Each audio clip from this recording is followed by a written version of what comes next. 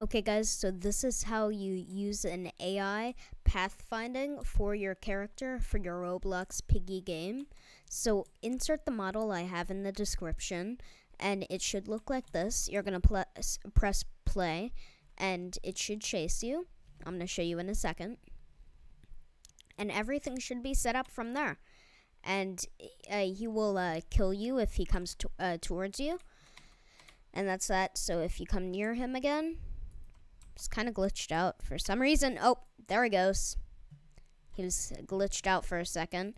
Okay, there was a little error there, but it shouldn't happen most of the time. Uh, so that's uh, that. So see, he follows you or she follows you, and when she gets to you, there's this cool animation, redness around, and then it moves your character up to the sky, and then it shows that. So that's how you use AI pathfinding for your Roblox Piggy game. I'm going to link this down in the description. Thank you guys for watching. See you guys in the next one. Peace.